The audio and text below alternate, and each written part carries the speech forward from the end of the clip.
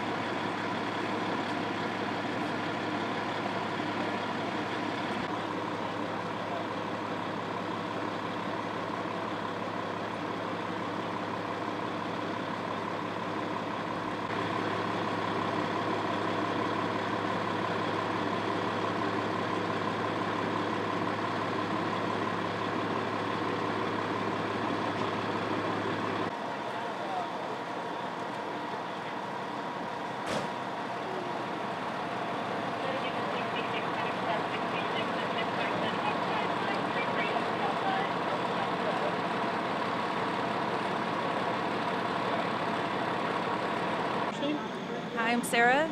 Okay, what did you hear and see? Um, I heard screeching and like brakes, and it sounded like it, the car locking up, and it was for a good like 10 seconds.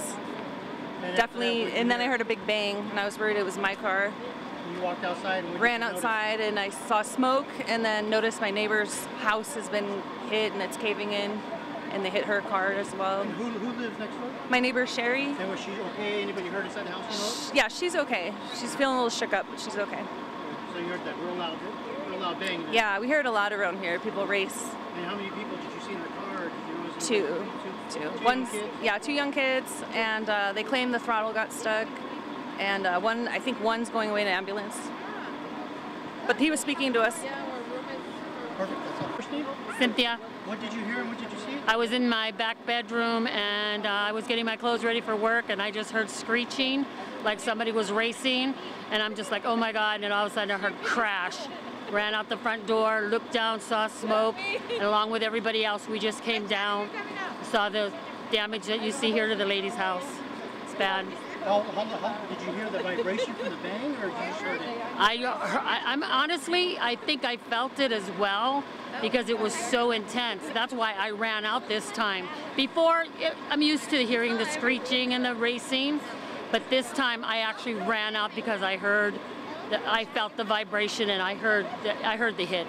But I thought it was the two vehicles that hit. Did you run outside? You ran to your neighbor's house. Was she okay? Or did you Yeah, we I helped her come out of the house because she's an older lady, and she walks with a walker. But all, everybody around here has been helping out and very good about it. But the house is damaged. Oh, it's an apple Really.